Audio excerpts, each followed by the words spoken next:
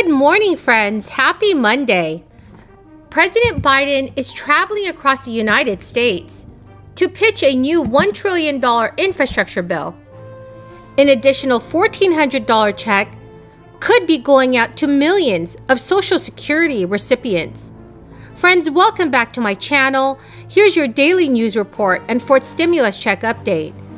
Also, please make sure that you are subscribed to my channel and watch until the end of this video to learn how to enter this coming Friday's $100 Walmart gift card giveaway. President Joe Biden will visit Michigan for the first time since July in an effort to build public support for his Build Back Better agenda, including the infrastructure plan currently pending in the United States House.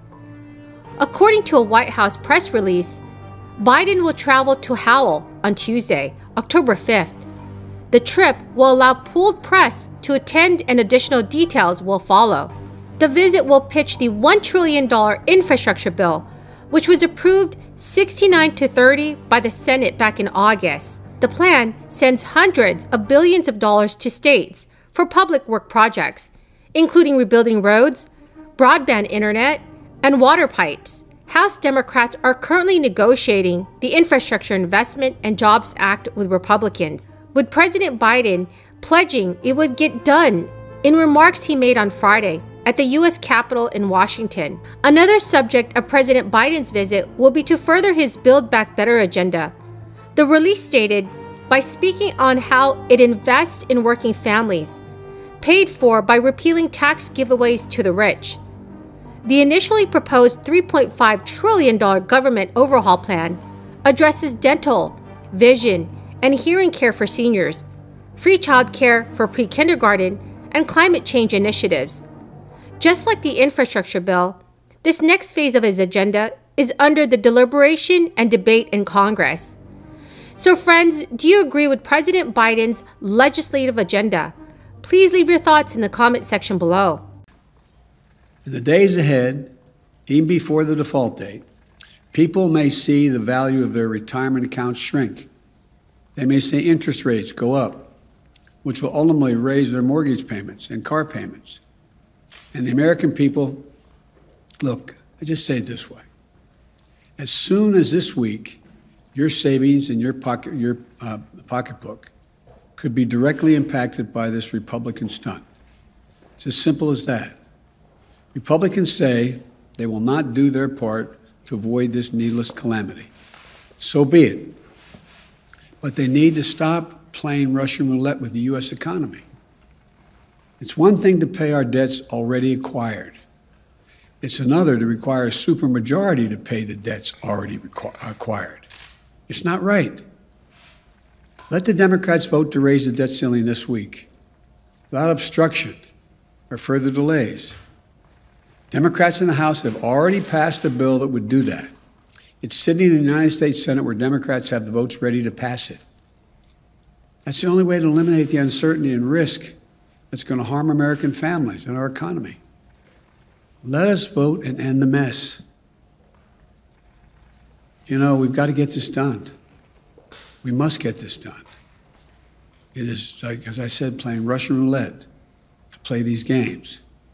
We can do it this week. Just get out of the way and let us pass it. Thank you. The 42 million Americans who collect food stamps will receive an average boost of 27% to their benefits, which began on October 1st, marking the largest increase in the history of the safety net program. The permanent increase was announced in August by the United States Department of Agriculture, which administers the Supplemental Nutrition Assistance Program. Despite the hike, most households may only see a modest rise in their benefits because a temporary 15% boost to SNAP benefits, directed by the Biden administration's American Rescue Plan, expired on September 30th. Still, most households will see an increase in their benefits beginning this month, October, although the timing will depend on their state's payment schedule. On average, each person will see their benefits rise by about $36 a month under the revised Thrifty Food Plan, and this is what the agency had stated. A family of four who now qualifies for food stamps could receive a maximum of $835 per month in aid, within the 48 states. That's compared with a maximum of $680 for a family of four just prior to the boost. During the month of August, the Agriculture Department said it had reviewed the so called Thrifty Food Plan, which is a budget developed in the 1960s to determine how much people need to spend for a nutritionally adequate diet for short term or emergency use, and sided with critics who said it failed to reflect people's nutritional needs and food prep time. So, for instance, the Thrifty Food Plan had assumed food stamp recipients have only about two hours a day to spend on food preparation. Real households receiving SNAP benefits spend an average of less than one hour a day preparing meals. Friends, the key word for this video is salad. If you are interested in entering this coming Friday's $100 Walmart gift card giveaway, please make sure that you are subscribed to my channel, like this video, and comment below the keyword. Thank you so much, everyone.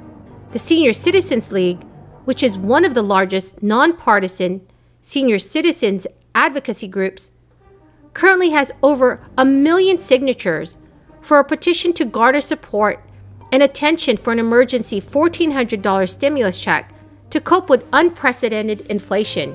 Among the arguments in the petition is that the COLA increases are not suitable enough for seniors who are living on a fixed income with the 5% inflation surge experienced over the past 13 months. The petition adds in 2021, Social Security benefits increased by just 1.3%, raising the average benefit by only about $20 a month. But about 86% of Social Security recipients surveyed say that their expenses increased by much more than that amount. A $1,400 check will definitely help senior citizens afford groceries on an already tight fixed income. Roughly 25% of low income seniors reported food insecurity. Social Security recipients are expected to receive a 6% COLA increase in 2022, one of the largest on record. But rising inflation and Medicare costs are thought to eat away most of it. So a fourth stimulus check could help struggling seniors recover from a bad year of surging prices and supply chain blockages that are hurting the prospect of recovery just for basic grocery items. Friends, thank you so much for joining me here this morning. I greatly appreciate every one of you who are watching my videos. And if you would like to enter this coming Friday's $100 Walmart gift card giveaway, please make sure that you are subscribed to my channel, like this video, and comment below the keyword. Thank you so much, friends, and have a very blessed week.